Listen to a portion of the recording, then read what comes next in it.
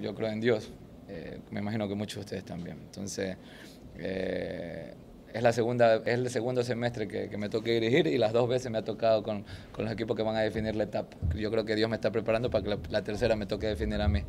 Pero un lindo partido, siempre nos toca, nos toca jugar cosas importantes y eso es bueno. Nos toca estar en el ojo del, de la opinión pública y eso es bueno, por algo de ser. Entonces, preparándonos para, para estar a la altura, para dar un buen para dar un buen espectáculo a la gente que va a venir. Seguramente van, el estadio va a estar va a tener mucha concurrencia. Si esperamos estar nosotros a la altura, creo que hemos estado jugando un buen fútbol y bueno, esperamos eh, lo que nos falta que definir con una victoria este fin de semana acá. hoy vino Damián Frascarelli y hizo una intervención sobre el arbitraje del día domingo. Eh, entre comillas, ironizando un poco de que lo felicitaban a los jueces del partido del día domingo. ¿Cuál es su punto de vista? Bueno, yo ya caí en, algún momento en el error de, criticar a los jueces, ¿no? Ellos son seres humanos, yo creo que, que si se equivocan no lo hacen de, mala forma. Eh, son seres humanos como yo, que también me he equivocado en algún momento en hablar mal de ellos. Eh, lo que les pido es que, que lo entiendan a Damián, es un chico, no un chico, porque, pero bueno, es menor que yo. Jugador de fútbol con, con la energía, con la efusividad, la adrenalina eh, de querer ganar un partido y no poderlo hacer. Me imagino que los árbitros también les corre eso por, por, las venas y por el cuerpo. Entonces, que si él ha dicho cualquier cosa que, que, que capaz que no está bien, porque reclamar después del partido no está bien, eh, lo entiendan como eso, ¿no? Que es un jugador de fútbol que quiere ganar y que, y que al sentirse que no las cosas no le salieron bien, pues, pues se molesta, pero creo que, que hay que dejarlo pasar, que, que, no ha pasado nada. Nosotros tenemos que preocuparnos de seguir trabajando y mejorar y poder ganar los partidos en la cancha. pero ¿cómo vieron ese momento? Porque festejaron a rabiar ese momento por el gol de y el joven jugador de Guayaquil City, pero responde, dice que, no fue válido el gol. Sí, lo festejamos más que por, por el resultado, porque era un chico que estaba debutando, ¿no? es un chico que le tenemos confianza, eh, no nos defraudó. Eh, y lo que yo vi es que él, y, todos celebramos porque, porque la bandera no se levantó. Luego capaz que que entre ellos se comunicaron y, así tiene que ser, se comunicaron y, decidieron anular el gol, pero, pero bueno, eso ya está, ya pasó, ahora hay que pensar en Liga de Quito y, hacer un buen encuentro. Profe, seguro ayer el partido Católica, ¿qué analizar y qué puntos bajos a lo mejor ve Liga en?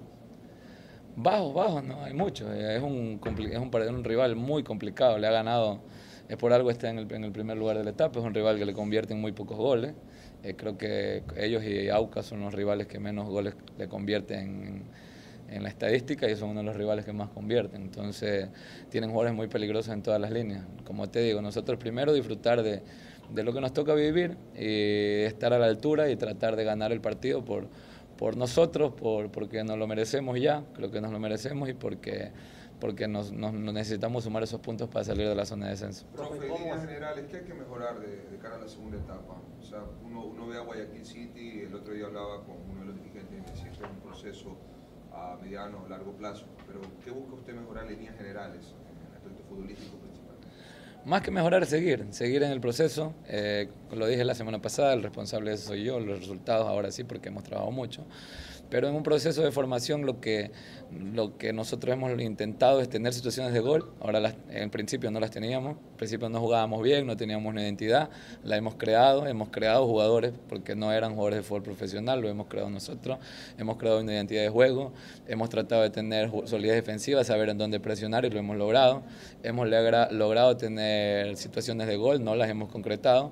Lo que resta es concretar las situaciones de gol en el proceso de formación, en un proceso de formación normal en cualquier equipo del mundo, eh, concretar las situaciones de gol y luego mantener el resultado. Luego que, tengamos eso, creo que vamos a tener un equipo fuerte y que va a estar preparado a jugar contra cualquier equipo en cualquier cancha. preocupa lo de Cuenca, que ya tiene tres puntos más. Eh, obviamente aquí en Sudamérica el jugador prioriza mucho el resultado por encima de, del rendimiento. ¿Cómo lo toman para la segunda etapa? Yo estoy, yo, yo estoy confiado, no por, no por, no solamente por mí o por la gente que trabaja conmigo, sino por la estadística a nivel mundial. Los proyectos y, los procesos son los que siempre llevan los mejores resultados. ¿no? Nosotros hoy estamos apenas a tres puntos del Deportivo de Cuenca. Este, preocuparnos por eso sería sería una tontería para mí, eh, mía me refiero, ¿no? con, con, el respeto que se merece esa palabra, eh, sería una tontería para mí porque quedan tantas fechas por jugarse y en vez de preocuparme, creo que en este momento lo que tengo que hacer es ocuparme, entonces estoy ocupándome de poder, de poder hacer las cosas bien, de poder alcanzarlos, poder pasarlos y tener un margen importante para, que, para no tener que peligrar en la zona de descenso. Profe, ¿se confirma la llegada de Mauro Bustamante al equipo y qué otras eh, posibles incorporaciones puede tener para la segunda etapa del equipo? Sí, es una de las de, la, de, la, de los jugadores que nosotros estamos evaluando mucho.